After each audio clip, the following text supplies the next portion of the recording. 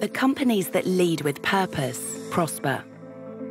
They are riding the wave of a paradigm shift in how we do business.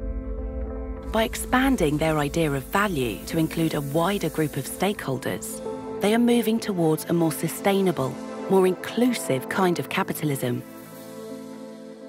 But for most companies, leading with purpose means change, and change is hard.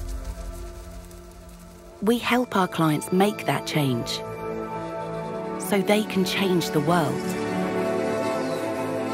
We help them lead with identity and engage with creativity. Finding your true north in a business world that is undergoing tectonic shifts means going back to your essence, your identity, to define who you are and what your role is in this changing environment. When you know who you are, what you stand for, and what you're fighting against, you have exactly the core elements of the identity story you need to motivate your employees, to engage in dialogue with your stakeholders, to get the support of your investors.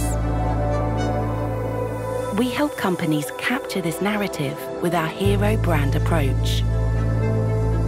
Once you have made your purpose an integral part of your identity, the next step is to communicate it creatively with all the possibilities the 21st century has to offer.